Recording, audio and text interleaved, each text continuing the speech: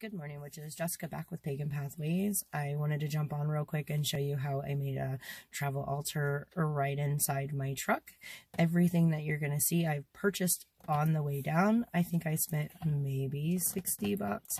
It wasn't that much. So I'm going to turn the camera around and get you started so you can see all the items. And I'll try to give you prices, but no promises. All right, guys, here we are. Here's the whole altar and total so you can see it. And then I'm going to pass the camera off to my daughter and she's going to hold the camera while I show you what everything is. There you go. All right, this is a bell I picked up. It was just a couple of dollars. It does say Route 66, but that's okay. And like I said, everything was double-sided tape down. It has a nice little chime to it. I love bells. Okay, and we did stop at a Dollar Tree in New Mexico where I picked up a mirror and these candles. And They are electric and they do work. So, I mean, obviously can't have burning candles in the car.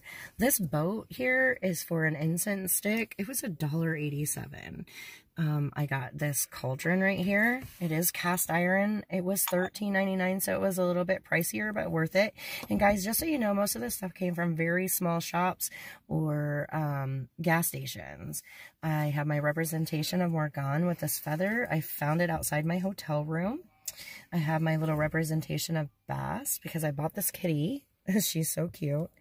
All these stones, um, most of these came from a place in Missouri, I believe. I got this at a thrift stop. And then, oh, this box makes a nice spell box. But you could use it for whatever you want. I just like it as a spell box. It was $3.99.